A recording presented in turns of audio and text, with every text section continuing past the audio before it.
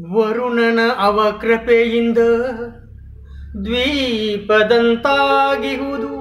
ಬೆಂಗಳೂರು ನಗರ. ದ್ವೀಪದಂತಾಗಿಹುದು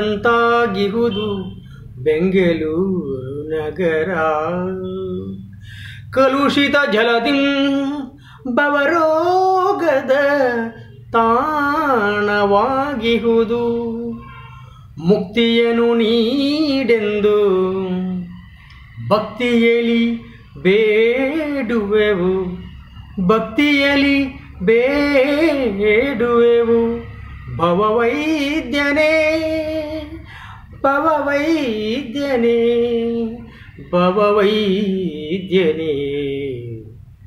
ಬಹುಶಃ ಈ ನಾನು ಹಾಡನ್ನು ಯಾಕೆ ಹೇಳಿದೆ ಅಂತ ಕೇಳಿದ್ರೆ, ಬೆಂಗಳೂರು ನಗರ ವರುಣನ ಆರ್ಭಟದಿಂದ ಮೂರು ನಾಲ್ಕು ದಿನಗಳಿಂದ ಕುಡಿಯಲು ನೀರಿಲ್ಲದೆ ಜನ ಪರದಾಡುತ್ತಿರುವುದು ಆಹಾಕಾರ ನಡೆಯುತ್ತಿರುವಂಥ ಆ ದೃಶ್ಯವನ್ನು ಕಂಡಾಗ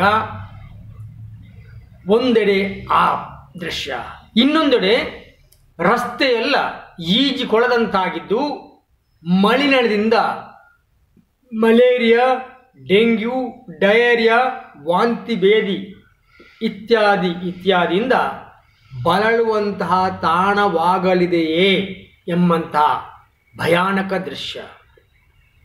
ಇದಕ್ಕೆ ಕಾರಣ ಎರಡು ಸಾವಿರದ ಹತ್ತರಿಂದ ಆಡಳಿತದಲ್ಲಿರುವ B J P means B B M P ಆಡಳಿತ ಬಿ ಜೆ ಪಿಯ ಕೈಯಲ್ಲಿರುವುದೇ ಮುಖ್ಯ ಕಾರಣ.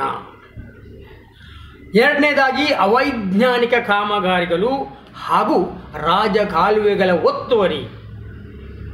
ಬಂಧುಗಳೇ, ಈ ವರ್ಷ ಸುಮಾರು ನೂರ ಹತ್ತೊಂಬತ್ತು ಮಂದಿ ರಾಜ್ಯದಲ್ಲಿ ಬಲಿಯಾಗಿದ್ದಾರೆ. ಎರಡು ಸಾವಿರದ ಹದಿನೆಂಟರಿಂದ ಇಲ್ಲಿಯವರೆಗೆ ಸುಮಾರು ಒಂದು ಸಾವಿರ ಮಂದಿ ಅಸುನೀಗಿದ್ದಾರೆ. ನಾಲ್ಕು ದಿನದಲ್ಲಿ ಕನಿಷ್ಠ ಹತ್ತು ಸಾವಿರಕ್ಕೂ ಹೆಚ್ಚಾಗಿ ಕೂಲಿ ಕಾರ್ಮಿಕರು, ಪೌರ ಕಾರ್ಮಿಕರು ಕಸಗುಡಿಸುವವರು ಆಸ್ತಿಪಾಸ್ತಿಗಳನ್ನು ಕಳೆಕೊಂಡಿದ್ದಾರೆ. ಅದರೊಟ್ಟಿಗೆ ಪ್ರಾಣಿಗಳು ಇತ್ಯಾದಿ ನೆಲೆ ಕಳೆದುಕೊಂಡಿವೆ, ಹಸುನೀಗಿವೆ.